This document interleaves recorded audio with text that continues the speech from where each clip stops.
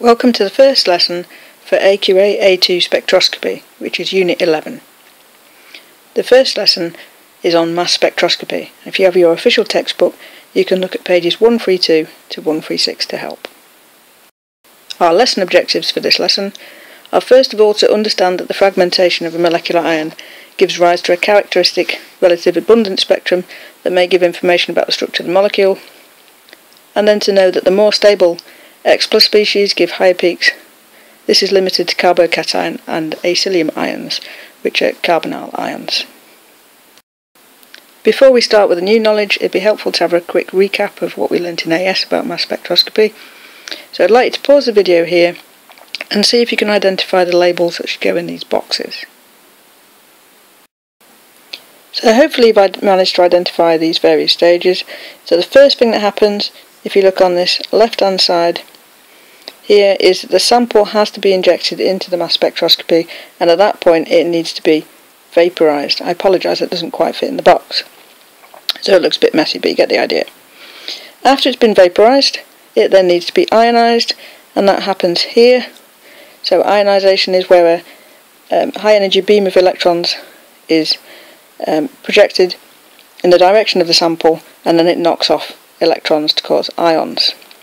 Once you've got the ions, it's then accelerated. So the ions are accelerated, they're made to go a lot faster. They go towards a positively charged plate. After they've been accelerated so that they're fast enough, they then go into this magnetic field here, which causes deflection, because charged particles get deflected in a magnetic field. And the amount of, that they get deflected will depend on their mass to charge ratio. Once you've deflected the ions, they then travel down here towards the detector at the end. So you get detection is the last uh, stage that happens in the mass spectroscopy. And at that point, a current is generated, and that current is proportional to the abundance of the ion that is detected. So here's the steps um, laid out for you and I apologise for the mistake. I've just noticed a mistake on there. It should say the sample rather than the ample so I've just corrected that rather crudely on here. So the first step is vaporisation so the atoms as I said before go into the mass spec. They need to be vaporised because they need to be in a vapour state. They need to be gaseous. Second step is ionisation, so the sample is bombarded with high energy electrons and this creates positive ions. At that point, the fragment, you can also have fragmentation. But we're not worrying about that right now because we're just recapping what we did at AS. So once you've got the ions, you then have step three, which is acceleration.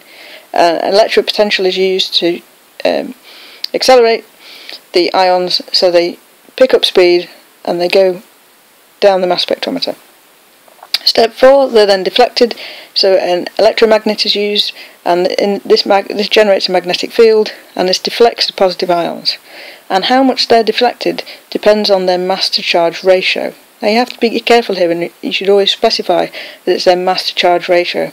Some people simplify at this point and just talk about the fact that they are deflected based on their mass, but it's really their mass to charge ratio. And we met this in AS because we talked about the fact that you sometimes get a peak at um, half of the value for elements. So if you had an element that had a mass of, say, 80, you would get a peak at half of that, which would be smaller, but you'd get a peak at about half of that value, so at 40, because in some cases, in quite rarely, but it does happen, you would get manage to get two electrons knocked off.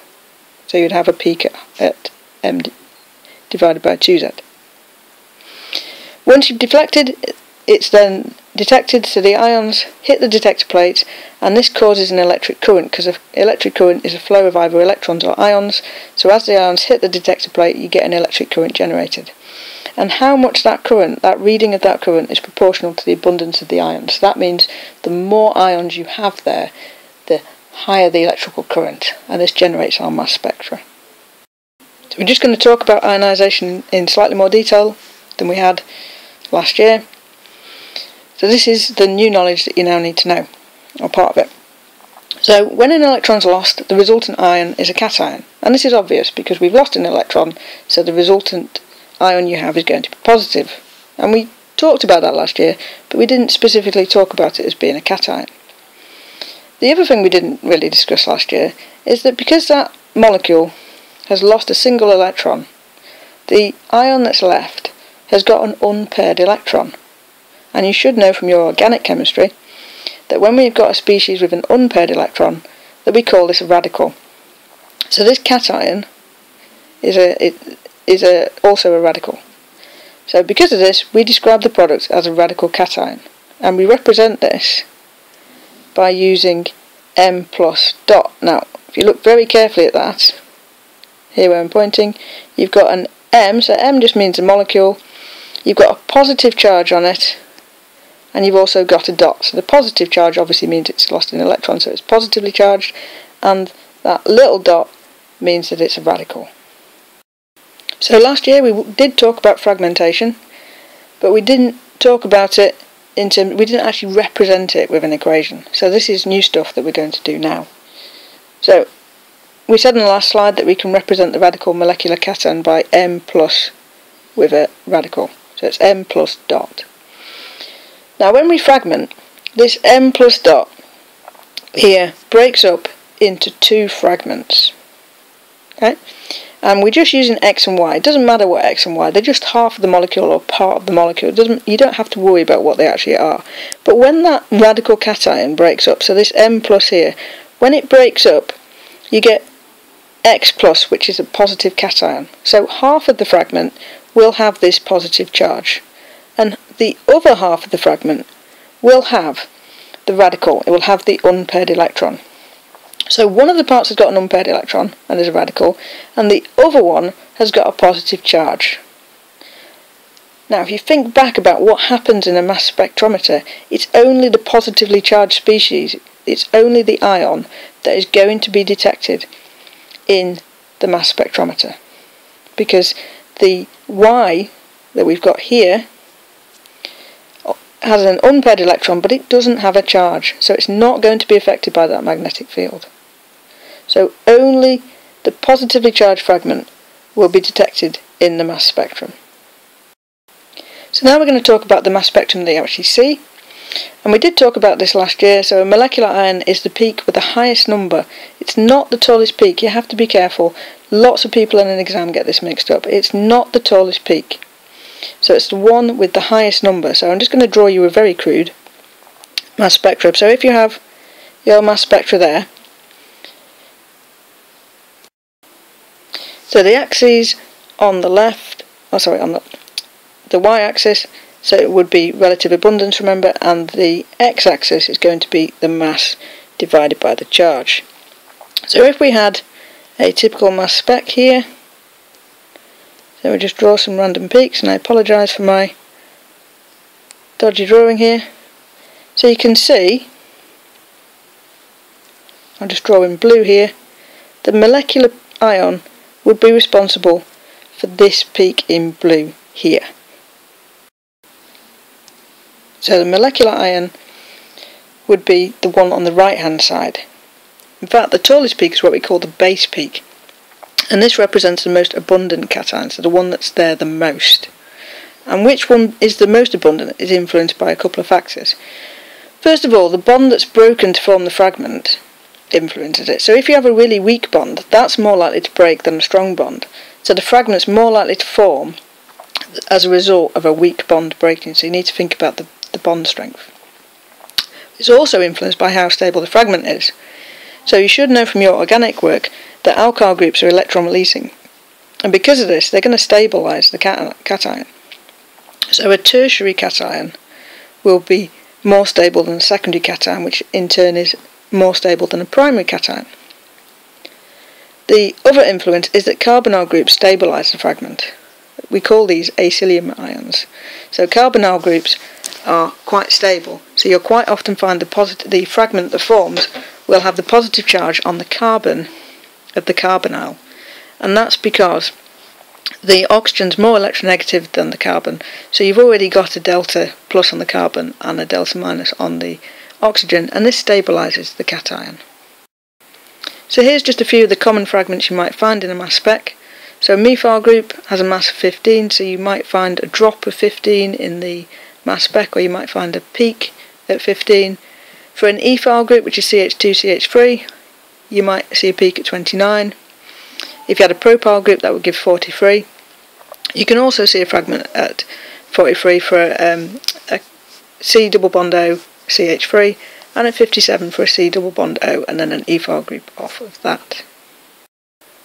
So here's an example mass spec for ethanol and I'm just going to quickly draw in the um, molecular structure of ethanol so you can have a look at it.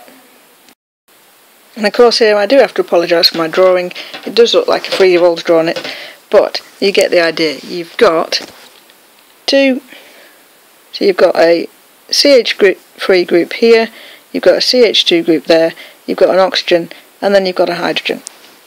So if you look at this, there are various peaks you should be able to see. So this group here, if this bond between the two carbons breaks, you will have a fragment of one carbon and three hydrogens. And that's going to be here at 15. So you can see a small peak there. And you can see that it's not a very tall peak. So we know that this fragment's not particularly stable. So if you broke that bond, the other fragment you would have is one carbon and two hydrogens and an oxygen and a hydrogen. So that would give us, we've got 12, 13, 14 plus 16 for your oxygen, that gives us 30 and you'd then have another hydrogen that would give 31. So you can see we've got this very big peak here at 31. That corresponds to your CH2OH. So obviously because that's much taller, that's a more stable peak. Now the other you can see on the right hand side, so the molecular mass of ethanol is 46, you can see here right on the right hand side is the molecular ion, and then there's another peak there where you've lost one hydrogen to give 45. Now you can form that in, in various ways. Any of these hydrogens, so you can have this one, you can have this one, this one, this one, this one, or this one, any of those hydrogens could have been lost to form that peak at 45. So they're the main peaks that you see. You do also see these other little ones here, but we're not going to get too stressed about those at the moment. Okay, so the last thing we need to talk about is isotopes in a mass spec. Um, so we find in our mass spectra that sometimes there's small peaks to the right of the molecular peak. So again, you're going to have to put up my very crude drawings, I apologise for that. But here's a very crude drawing of a mass spec, and I've left the axes off for simplicity this time, but you should know that this one here, the y-axis, is relative abundance, and then this x-axis here is the mass charge ratio. So here we have on the right hand side, this is our molecular peak. Now sometimes, now we did say that it was the one to the far right, but sometimes, because of isotopes, you get a very, very small. Now on this scale, if this were, uh, when we're talking about carbon, that peak there, you wouldn't be able to see. Because you should know that the carbon-13 is 1%, so 1% of natural carbon is carbon-13. So if this peak here, this molecular peak, had a height of 100, and there was only one carbon in there. So if we had like methanol, which only had one carbon, and this peak here was a height of 100, then 1% of those methanol molecules would, instead of having carbon-12 in, would have carbon-13. So instead of weighing what methanol is, what uh, carbon plus um, 4 hydrogens, so that gives us 16, plus 16 for the oxygen, that will give us 32. So if this peak here was at 32 and a height of 100, we would have this tiny peak to the right of it at 33, where instead of being carbon 12, it's carbon 13. So for a compound with one carbon atom in, that little peak for the isotope will be 1% of the height of your molecular ion peak. If you had two carbons, so in our previous example we looked at ethanol, because there's two carbons in there, then you would have the, the this little peak here would be 2% of the height of the peak. So you can use the height of that peak to work out how many carbons there are in the molecule. So we're at the end of the lesson and just to remind you what the lesson objectives were so hopefully you can take these off that you can do them. If not you'll have to go back and have a look at your textbook or watch the video again. So what we wanted you to be able to do was understand that the fragmentation of a molecule, molecular ion gives rise to characteristic relative abundance spectrum and that that may give information about the structure of the molecule. And you also be able to know that the more stable X plus species give higher peaks, and that's limited to carbocations and acylium ions.